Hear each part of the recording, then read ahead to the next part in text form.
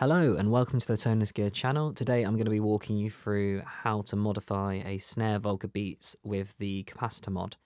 Um, my friend tried out my snare Volca Beats over Christmas last year and he really, really liked it. Uh, so much so that he bought one himself, but he was so dissatisfied with the stock snare that he got me to do it to his as well. So hopefully he's going to be really happy with it. And we're going to talk about how it sounds stock, how to make the stock one sound good by layering it with the clap, and just how it sounds at the end. Like it sounds so much better. There's so much more white noise, sounds a little bit more 808 esque. There are other mods that you can do, but I'm just going to be focusing on the capacitor C78 mod for this video. So with that demo, you can hear that the stock snare has got a really short decay and there's hardly any top end to it. So it definitely would be improved if you could lengthen out that decay and get a bit more of a snap and crack on it. Here is how it sounds in the mix with the other instruments in the Volca Beats.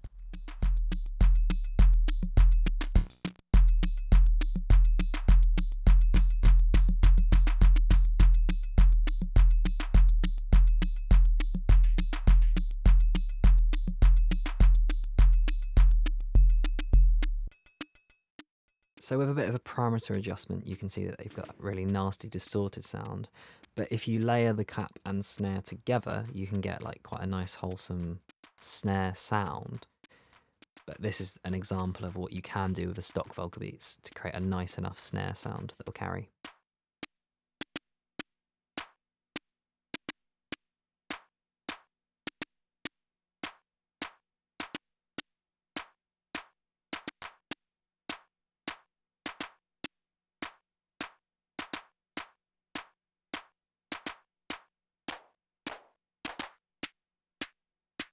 So here I'm just unmuting and muting the snare and clap tracks so that you can hear them individually to show what the layering effect was.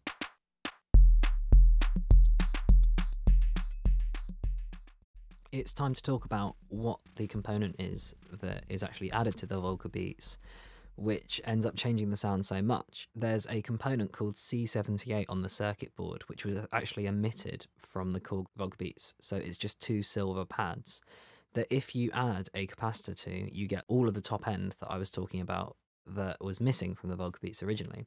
I found a blog post by a user called Dimitree, and they made a fantastic PDF that shows the full schematic of the Volca Beats, including a nice scale drawing in Adobe Illustrator it's not it might not be exactly what the schematic is but it's enough so that you're able to do this mod and work out where in the circuit you should be positioning stuff.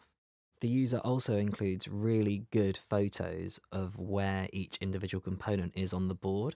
So if you do want to try this i highly recommend you click the link in the description below and you'll be able to find his pdf really easily and it can just take you through exactly where you need to put stuff so without further delay, this is what you need to complete the mod for the Volca Beats. You need a Volca Beats, you need a capacitor. I've chosen 680 nanofarad box style for this. You also need a Phillips miniature screwdriver, which is really handy for taking apart the Volca Beats because loads of screws and accessing the PCB. You need a soldering iron because there is some soldering in this modification. I use a hot glue gun to secure the capacitor to the PCB board I also use flux and solder. The flux helps the solder flow much more easily into the pads, and as they're so small, that's a really useful thing. I also use needle nose pliers because I use them to bend the legs into the pads so that you can create a nice secure solder joint. Then I also have a solder sucker, which is very useful. It's really easy to make a mistake on this mod, and it's great to be able to reverse that if you need to. The final tool I use is a helping hands, which is two crocodile clips which hold the PCB in place whilst you work on it, which is so useful for the fight, like the minuscule soldering work that you're doing. And there's also a magnifying glass on them, which is really useful for identifying the pads that you need to solder to, as well as checking your work afterwards. So first thing you've got to do is unscrew all the screws on the back of the Volca Beats and the one inside the battery compartment. Leave the three surrounding the speaker alone as the speaker can stay connected for this mod. And that will expose the PCB. So what you do at this point is you can see that there are four wires connected to the PCB in the enclosure. So you want to remove those so that we can open up and look inside the PCB more easily without putting any strain on those wires.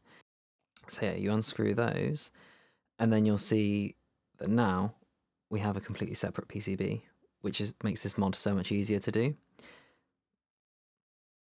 So there's actually plenty of other mods that you can do to the Volca Beats, and if you see there's TX ground and V0 or VD, that's actually a MIDI out test point or a mod point where you can get put a MIDI jack on there, and then yeah, you have MIDI out, which is really good for syncing to DAWs like Ableton and syncing to other devices that only accept MIDI in.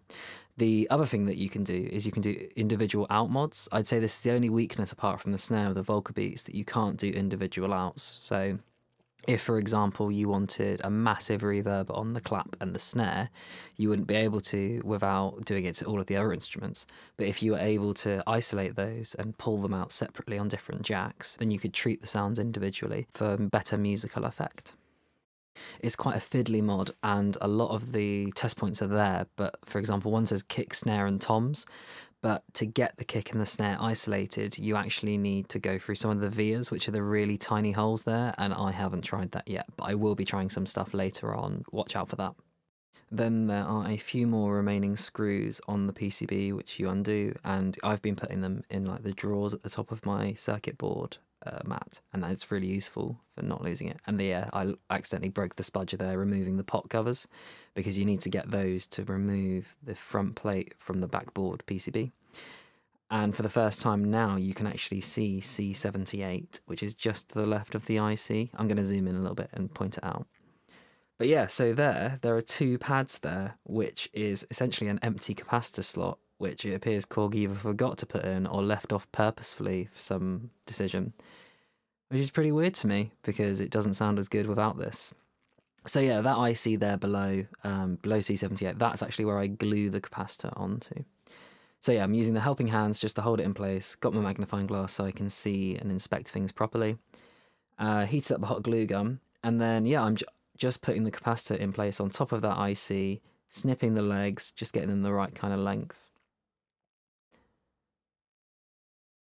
And then once that's on, I've used the needle nose pliers to bend each wire into each one of those pads.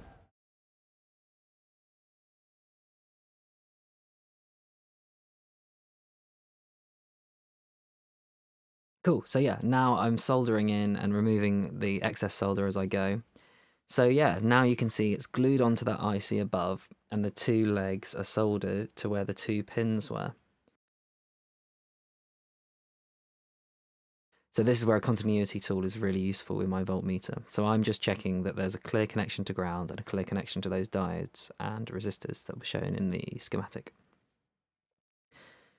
So yeah, the other thing that I mentioned is actually once the PCB is back on the faceplate, the capacitor actually sits really nicely and snugly, so it's not really going to go anywhere. So that should be a really cool mod that stays and doesn't break with time. So yeah, now that's in, I've done my continuity checks. I actually want to test that it's actually worked, and that I haven't ruined the Volca Beats entirely. So it's turned on, and then let's give it a sound demo. It works, amazing. So yeah, you hear that snare has loads more sustain, loads more top end, and it's just so much better. So yeah, pretty successful.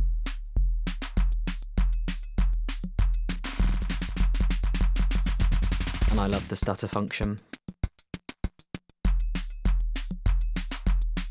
Hey.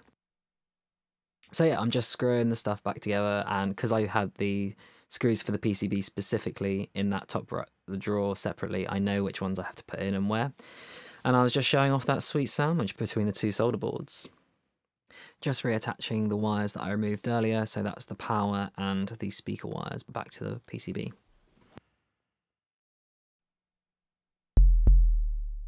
And then, yeah, good to go. Everything's back together. It's just time for a sound demo at the end. So yeah, what I really like is now you no longer need the clap and the snare to be doing the same part. They can bounce off of each other really nicely now because they've both got enough weight to them.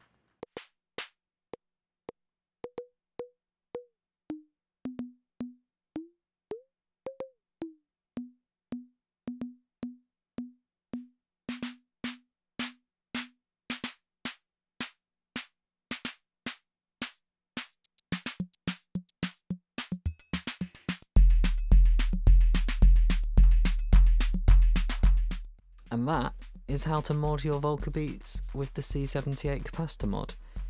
Thank you very much for tuning in and yeah, if you've got any queries or any questions about how to do the mod yourself, please let me know. And yeah, like and subscribe because I'm hoping to do loads more videos, as I said last time.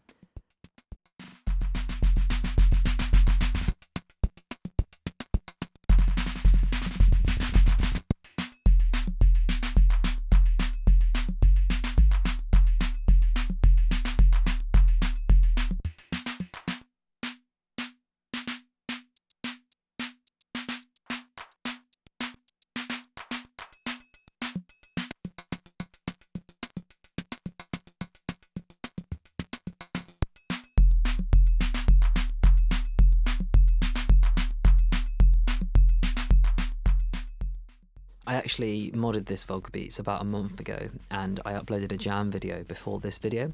So if you're keen to check out how this sounds in a techno setting and with an MS-20 and a space echo, uh, check it out please. Uh, I'll link it just below.